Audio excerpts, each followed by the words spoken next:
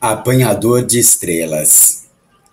Numa tarde, numa praia cuja maré havia subido muito e depois descido, havia inúmeras estrelas do mar secando ao sol. Um menino estava desesperado com o fato daquelas estrelas estarem se desfazendo com tanto calor e começou a correr, levando uma a uma quantas podia até a água ele corria da areia para a água, da água para a areia, e assim ia levando inúmeras estrelas do mar, uma a uma, até o mar.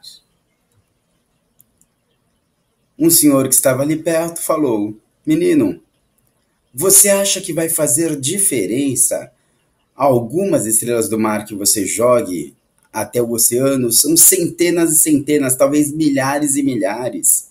Não vai fazer diferença.